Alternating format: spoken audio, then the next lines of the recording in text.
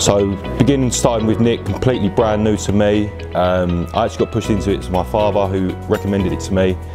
Um, and yeah, from, from the get-go, putting the foundations in place to uh, make my company like out there for the world, in front of everyone. So from website design, from SEOs to advertising, and just putting everything into one package instead of going to this person for advice or Nick is the old package from helping me from the ground upwards and putting the foundations in place. So I'd recommend it because um, for me it's, it's a complete eye opener. I'm 25 and uh, having people in that room, the knowledge, what they know, and I think it's, uh, it's helped me massively. I can, it's an eye opener and um, training wise, it's something you wouldn't get in school or anything like that. It's, uh, I'm new to me, but I'm well open to it. Advice I would give is to throw yourself at the deep end.